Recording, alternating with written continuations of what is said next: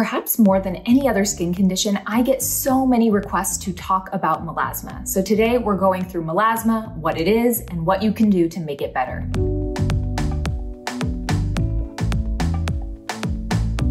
If you're new here, thanks for stopping by. I'm Dr. Sam Ellis and I'm a board certified medical and cosmetic dermatologist in Northern California. I'm here to help you understand your skin and find products that work for you. So if that sounds good, give this video a thumbs up and don't forget to subscribe to the channel. I would describe melasma as a skin condition in which someone develops somewhat symmetrical hyperpigmented patches that typically show up on the face but can show up on other areas of the body as well, like the neck and the arms. And hyperpigmentation really just means discoloration that is darker than your natural skin tone. And melasma can look brown, but it can also look gray or even bluish in color. The other thing worth noting is melasma is completely asymptomatic, meaning it's not itchy, it's not painful. You can see it, but you should not be able to feel it. And although any adult can technically get melasma, it is much, much more commonly seen in women, and it is much more commonly seen in women who have deeper skin tones. As someone who personally struggles with melasma, I think one of the most frustrating things about it is that it seemingly comes out of nowhere. You're just going along, minding your own business, and then one day you wake up with these dark patches on your forehead or your cheeks or your upper lip and you're sitting around going, what happened here? So let's talk about causes of melasma. I should also mention, first of all, for most people who develop melasma, they are genetically predisposed, meaning that there is something in their DNA programmed from birth that allows them to be susceptible to certain melasma triggers. For example, we know that UV light or UV radiation is one of the main drivers of melasma. However, not everyone that's exposed to sunlight gets melasma, and the people that do are genetically predisposed. In addition to UV light, we also know that blue light, which sits very close on the electromagnetic spectrum to UV light, but is part of the visible light spectrum, can also trigger melasma in certain populations. And if you have any questions about blue light and hyperpigmentation, I have an entire YouTube video about it. Aside from other types of light exposure, we also know that when you have hormonal shifts, principally increased levels of estrogen and progesterone, you are much more likely to develop melasma. This is why a lot of women will report that their first melasma flare happened after they started on an oral contraceptive pill or when they got pregnant. Melasma is also known as the mask of pregnancy. And whether you're on an OCP or you get pregnant, your estrogen and progesterone levels go up, up, up, and your pigmentation kind of follows that. A lot of people don't realize that progesterone therapy on its own, like the mini pill or a hormonal IUD, such as the Skyla or the Mirena, can also cause melasma. And then probably just over the last few years, I'm seeing a lot more women in their 50s and 60s coming in with new melasma flares. And it's because they've started on hormone replacement therapy or menopausal hormone therapy. Another melasma trigger is heat. So things like hot yoga or regular sauna use, those can trigger melasma. And the reason for that is we used to think melasma was exclusively a disorder of pigmentation, but we've now realized that there's this vascular component or this component that is driven by the blood vessels. And when your body heats up, the blood vessels in the surface of your skin dilate or open up. And when that happens, it can make your melasma worse for some people. So when I'm counseling my melasma patients in clinic, those are the four main drivers of melasma that we talk about. Genetics, UV exposure, hormone shifts, and heat. But there are other things that can drive melasma, like certain medications that make you more sensitive to the sun and other genetic conditions. For example, we know that people who have autoimmune thyroid disorders are much more likely to develop melasma. As with most things in medicine, there's a lot about melasma that we still probably don't understand. So we will understand the drivers of melasma as well as the treatments more as time goes on and further research is done. The reason I think it's so important to review the causes of melasma before we discuss treatment is because a lot of the treatments have to do with intervening on those causes or those triggers. Now, of course, we cannot change your genetic code, but we can look at your UV exposure and your other lifestyle factors, as well as your hormonal influences, and decide whether or not we want to intervene on those in order to reduce your melasma. And the reason I say decide is because you don't have to treat your melasma, though I'm guessing because you're watching this video, you want to treat your melasma or you want to help someone else with their melasma. But doing that often requires some significant lifestyle changes. And it can be really frustrating that this is the case, but because melasma is so exquisitely sensitive to its triggers and it is incredibly stubborn or hard to get rid of, you have to really think about how you're going to dedicate yourself to improving your melasma, whether that's significantly changing your UV exposure or changing up your hobbies or changing your hormonal treatments of whatever they may be. You might have to make more than one sacrifice in order to get your skin better. And you might be watching this right now going, oh my gosh, Dr. Ellis, you are so incredibly negative. Why can't you be like my little melasma cheerleader? And I want to be your melasma cheerleader. I want your melasma to get better, but I want to also be realistic about how you go about doing that because you can do all the topical treatments for melasma in the world and all the oral treatments. But if you are still exposing yourself to melasma triggers, it's going to be so incredibly hard to treat. For example, if you're on some type of hormonal therapy, like a birth control pill, and you come in and we're talking about melasma and ways to improve it, the first thing we're going to talk about is coming off of that birth control pill and shifting you to some other type of contraception. And the reason for that is that contraceptive pill is driving your melasma and trying to reverse your melasma while still being on that medication is like trying to hit the brakes while still pushing the gas. It's just not effective. The other thing I'll say about melasma and managing and treating melasma is that it's a chronic condition. It always wants to be there. So if you're on melasma therapy and you're seeing good results, you generally need to continue treatment or be on some type of melasma maintenance plan in order to keep your results, which conveniently brings me to my next point, melasma results. What should you be looking for when you're treating your melasma? And I find that a lot of people are really hoping that their skin goes back to completely clear as if they had never had a melasma flare ever once in their life. And the reality is our goal is to reduce the dyspigmentation or reduce the hyperpigmentation on your face. Oftentimes we are never able to get you fully back to your baseline. Occasionally that happens and that is so exciting when it does, but the expectation really should be to reduce the melasma severity, not eliminate it entirely. Now, sometimes for some blessed people, melasma just goes away on its own, especially when you remove the trigger. So your pregnancy is done, you don't have that surge of progesterone and estrogen anymore, and your melasma naturally fades over time. Same with coming off of a birth control pill. Some people's melasma will naturally go away, but for a lot of people, it won't, even when that trigger has been removed from the situation. And that's when introducing treatments are really meaningful, when you're no longer triggering your melasma and you're ready to treat it. The last thing I'll say before we delve into specific melasma treatments is that when you're going to treat your melasma, it can be very helpful to connect with a dermatologist first. One, we can help guide you towards the most effective treatments. And two, we can make sure that the pigmentation that you're treating is actually melasma. There are so many other disorders of hyperpigmentation on the face that can mimic melasma, and you really want to make sure you're treating the right thing before you invest that time and money and effort. The number one treatment for melasma is sunscreen and sun protection. Literally, if you do nothing else, this will help your melasma. And I really want to underscore the value of sun protection beyond sunscreen. Now, I know this is a skincare channel. We'll definitely talk about some sunscreens that I really, really like, but staying out of midday sun, wearing a broad brim hat, these are really, really important things that make a huge difference as well. I want to make this point abundantly clear, and that is if you have melasma, a baseball cap is not going to cut it. You need a wide brim hat that has 360 degree coverage. I generally look for a rim that's three and a half inches or broader, and I get it. It can be really hard to find a cute hat that fits that criteria. When it comes to like adventure hats, I really like the brand Sunday Afternoons. REI also has some great hiking hats that have wider brims. And then when it comes to more stylish hats or ones that you'd like wear in public, I really love Eric Javits and Janessa Leone. Yes, those are investments, but a great protective sun hat is worth it. Now, when it comes to sunscreens in melasma, I generally like SPF 50 or higher. Now, if you have an SPF 30 sunscreen that you absolutely love and wear consistently, that's totally fine. And even though the difference in UV protection between SPF 30 and SPF 50 is pretty minimal, when you have an exquisitely sun sensitive condition like melasma, I tend to lean people towards the SPF 50 if they're able to. Now, I do think there is one major misconception when it comes to melasma and sunscreen, and that is the thought that physical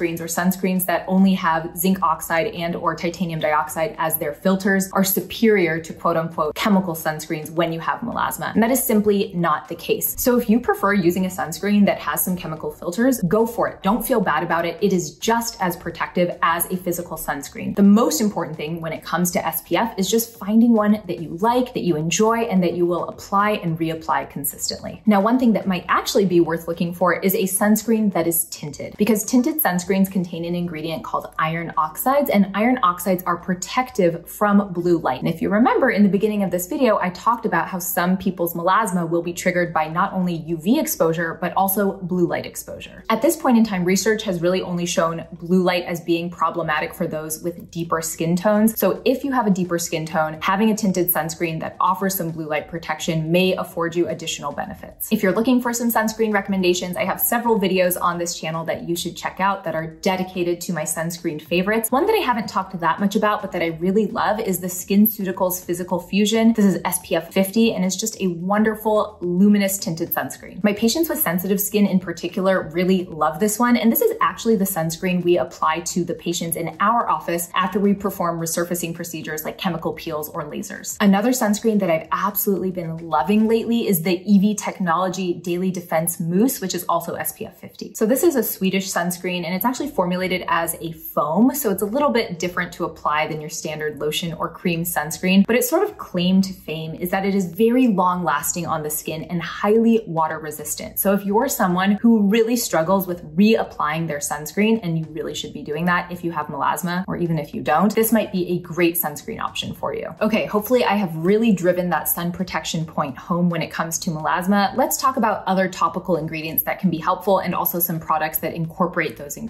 So ingredient number one is iron oxides, which I already sort of touched on when I was talking about tinted sunscreens and that blue light protection that iron oxides afford you. And they're not just found in tinted sunscreens. They're also found in foundations and concealers. So if you cannot find a tinted sunscreen that you absolutely love, then it's totally fine to use a regular sunscreen that's not tinted and then apply foundation or concealer on top to give you that iron oxide exposure and that added blue light protection. Next up is the gold standard ingredient when treating melasma or even other types of hyperpigmentation, and that is hydroquinone. Hydroquinone works by inhibiting your pigment producing cells in your body, your melanocytes, from being able to make melanin, which is what gives your skin pigment. Sometimes creams that contain hydroquinone are referred to as bleaching creams, but I feel like that name is really misleading. You are not bleaching the skin, you're just reducing the skin's ability to generate excess melanin. Hydroquinone used to be available over the counter in low percentage strengths, but that has since been banned in the United States. And if you've gone to a drugstore and found hydroquinone, it really shouldn't be there. It should only be available via prescription. Now, some people see this transition of hydroquinone being an over the counter product to a prescription only product and go, oh my gosh, does that mean it's not safe? No, it doesn't mean that it's unsafe. It just means that it is a drug that requires additional regulation in order to be prescribed properly and that people who are on it should be under the guidance of someone who really understands the risks and benefits of that ingredient. Hydroquinone can also be formulated and prescribed in ways that will influence its efficacy. For example, you can get 4% hydroquinone, but you can also get 12% hydroquinone. It can also be compounded with other ingredients that help fight melasma, which is usually what I do in my own practice. And all of those things will influence how well you respond to it. Because sometimes I have patients who come in who are like, hydroquinone doesn't work for me. And then I find out they've only tried 4% hydroquinone on its own and they weren't doing that great of sun protection. So every little bit, every little variable makes a difference. Now, if you're hydroquinone curious, but you're not quite ready to go there, you might want to try something like arbutin. Arbutin is a hydroquinone derivative and is found in a lot of skincare products that are available without prescriptions. One thing I did not mention is I would not recommend using hydroquinone during pregnancy or while breastfeeding. It can be absorbed into your bloodstream, and although that has not shown to cause any type of health consequence, we just don't know, so I'd rather err on the side of caution. Now, arbutin is a little bit of a different story. It is a derivative of hydroquinone, but it's not nearly as potent, nor is it absorbed systemically as much as hydroquinone is. So when people ask me, well, can I use arbutin when I'm pregnant or breastfeeding? I would say talk to your OBGYN. I personally used arbutin during my pregnancy though. Another great skincare ingredient that helps fight melasma is azelaic acid. Azelaic acid has so many wonderful benefits for the skin, but one thing it can do is help brighten the skin and reduce hyperpigmentation. There are even some studies that show that prescription strength azelaic acid, which is 15 to 20%, is as effective as some strength of hydroquinone. I think one of the great things about azelaic acid is that it is safe in pregnancy and while breastfeeding. And although I don't think you are going to make great strides in reversing your melasma during that time in your life, it can help keep your pigmentation at bay. Let's move on to some more ingredients. Tretinoin, which is a prescription strength retinoid, has also been shown to improve the appearance of melasma. Now, if you do not have access to prescription tretinoin, or if you can't tolerate tretinoin because it causes too much irritation, you can try adapalene instead. Adapalene is a third generation retinoid. It's available over the counter, it's less irritating, and has also been shown to help with melasma. Physicians who treat a lot of hyperpigmentation and melasma in their clinics will often compound tretinoin with hydroquinone and then often also with a mild steroid to help with any irritation that those two ingredients can cause. And that is applied topically either twice a day or once a day, usually for several months. And that can help a lot with someone's pigmentation. Now, we don't want someone on that combination forever. So once someone has improvement, we typically have them take a break and then go on maintenance therapy of some kind. Now, there are certainly other skincare ingredients that also help with hyperpigmentation and are available in over-the-counter skincare formulations. And I always think of those as sort of a complement to any prescription strength melasma therapy. So ingredients that I look for are things like kojic acid, tranexamic acid, niacinamide, L-ascorbic acid, which is vitamin C, and licorice root extract. Ooh, another topical ingredient that I forgot to mention is cysteamine. It's probably more commonly known as Cyspera, but this also can really help with hyperpigmentation. It's usually formulated as a product that you leave on for 15 minutes or so and then rinse off once a day. And I think of that again as a complement to any other prescription melasma therapy. Okay, let's talk about some products that incorporate a lot of these ingredients. And the first one up is called Meladerm. Now, if you watched my other video on ingredients that help fight hyperpigmentation, I also talked about this product in that video. Of any hyperpigmentation fighting product that's available without prescription, this one is probably my favorite. It has just such a great combination of pigment fighting ingredients. It has vitamin C and licorice root extract and kojic acid and azelaic acid and some other proprietary skin brighteners. And I just find that if a patient does not want to be on hydroquinone or can't be on hydroquinone for some reason, or same with tretinoin, they're not using them or they don't want to, this is a great alternative. If you're interested in trying a melasma topical that has cysteamine, and I don't think I mentioned this before, but cysteamine is an antioxidant and it really helps brighten the skin, then I recommend trying the one by Senté. It's their pigment and tone corrector. Now, of course, not every melasma product is going to work for every person who has melasma, but if it's something you've been battling for a while and you're looking for new things to try, I think this one might be worthwhile. And no matter what you're using to treat your melasma, whether it's prescription strength topicals or oral medication or skincare alone, you have to be combining that with excellent sun protection. I know I sound like a broken record bringing up the point of sun protection and sunscreen, but it is so essential to getting your melasma better. Okay, we are almost done with this video, but I do want to take a second to talk about oral treatments for melasma because it's actually probably the most common way that I treat melasma in my own practice. People who are really familiar with treating disorders of hyperpigmentation are very familiar with the concept of topical tranexamic acid, but a lot of people don't know that you can take it orally and it can be very, very effective for melasma. I prescribe this medication pretty much every single day in my practice, and I have seen women who have struggled with their melasma for years, have not responded to any topicals or have responded very minimally, and their melasma almost completely clears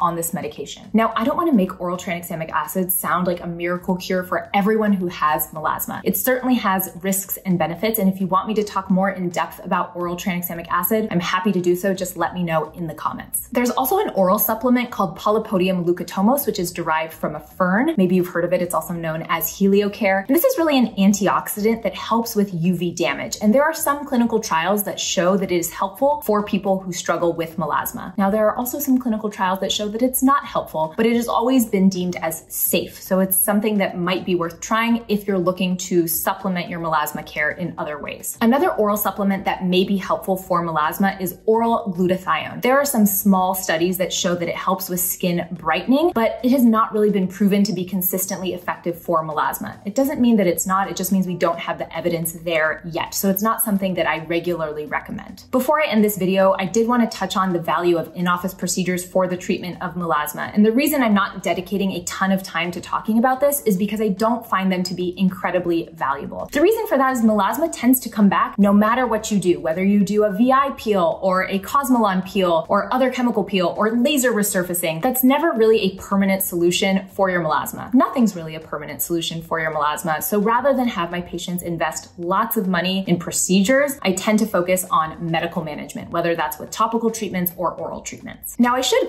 clarify, I perform procedures like chemical peels and laser resurfacing on my melasma patients all the time in my practice, but the main goal is not to address their melasma. People with melasma can have other skin concerns, whether it's acne scarring or dullness or fine lines and wrinkles, just general anti-aging concerns. And so there are treatments that are safe for people with melasma. And if you want an entire breakdown of that, let me know in the comments. But I can do clear and brilliant lasers and microneedling and certain types of chemical peels, but I never promise permanent reduction in melasma for those patients. We're doing it for other reasons. And if it happens to temporarily help their melasma, that's also great. And I think with that, we will end this video. Now I'm curious, have you tried any products or treatments that have been effective for your melasma? Let me know in the comments below. Thank you so much for watching. Don't forget to like this video and subscribe to the channel, and I will see you next time.